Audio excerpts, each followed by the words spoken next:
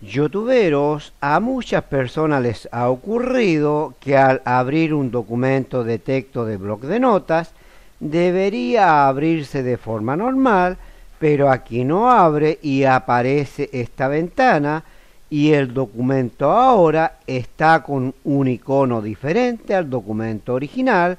y hagamos lo que hagamos, aparecerá. No se puede ejecutar esta aplicación en el equipo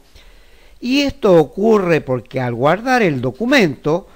al título le hemos agregado la extensión .com y el sistema lo guarda como página web o documento MS2 y por ahora ese documento no se podrá recuperar de forma normal. Suscribiéndote a nuestro canal, YouTube te avisará si hemos subido otro video, pulsando sobre la pestaña Mostrar más que está debajo de este tutorial aparece este link para aprender cómo extraer los drivers del ordenador antes de formatear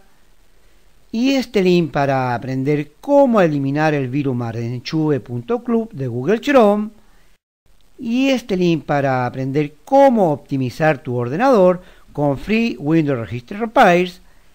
y este link para aprender cómo guardar un pegamento rápido para que no se seque en el envase.